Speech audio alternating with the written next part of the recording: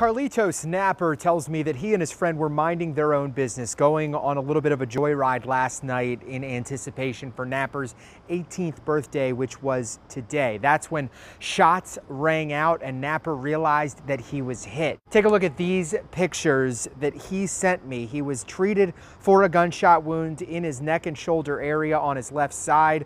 He has been released from the hospital. He tells me he will be okay. Napper tells me he and his friend were driving near Freeland Street in McKeesport when the shooting happened. An aunt tells me that Napper's a good kid who's focused on football and school, also loves playing video games. That aunt telling me the family is relieved tonight that Napper is okay. We did make multiple attempts to reach out to McKeesport police to try and learn a little bit more from them about what they believe happened with regards to this shooting. We did not hear back.